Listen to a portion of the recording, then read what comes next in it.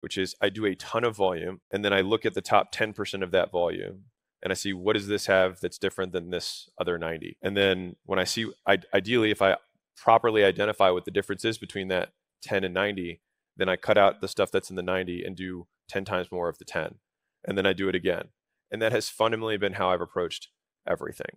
If I want to look at like how do I improve a sales script. I listen to all the, the, the sales calls. I look at the ones that we were like these these calls are pristine. They're awesome calls. Like look at the looping, all the stuff that's involved. we're like, okay, what was different about these calls versus the others? Okay, we didn't talk about this thing. We didn't ask this question, but we did add this question.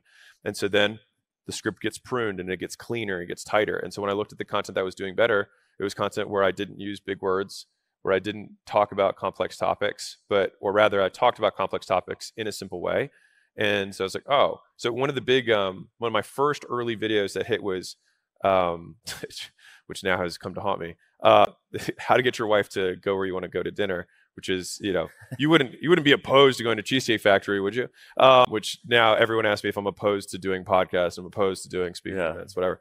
Uh, but the thing is, is that it was a sales technique, but it was applied in a way that could be more accessible to other people. And I see that as kind of like the best of both. Is if you can, like, I'm not against getting a viral video as long as it's about business.